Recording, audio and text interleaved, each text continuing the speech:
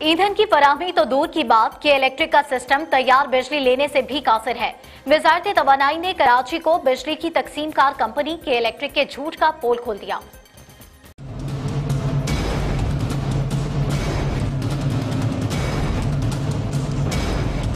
तर्जुमान वजारत तोानाई ने के इलेक्ट्रिक के दावों की सख्ती से तरदीद करते हुए कहा कि के इलेक्ट्रिक को फ्यूल की अदम फराहमी का दावा गलत है। तर्जुमान वजारत तोानाई का कहना है कि इलेक्ट्रिक ने तस्लीम किया था कि दो सौ नब्बे M M C F D gas मिल रही है। फौरी इकदाम से इजाफी बिजली पैदावार की भी तस्दीक की गई। तर्जुमान के मुताबिक ईंधन फराहमी का मामला लोड शेडिंग के साथ जोड़ना हक के मुतरद है। की इलेक्ट्रिक ने अपने बिजली तकसीम कार सिस्टम में मतलूबा सरमाकारी नहीं की। ईंधन की फराहमी तो एक तरफ़ इनका सिस्टम तैयार बिजली लेने ऐसी भी कासिर है। कि इलेक्ट्रिक को पीक टाइम में 100 से 200 मेगावाट की कमी का सामना है। कि इलेक्ट्रिक को पैदावार में कमी के बायस गैर एलानिया लोड शेडिंग करना पड़ती है।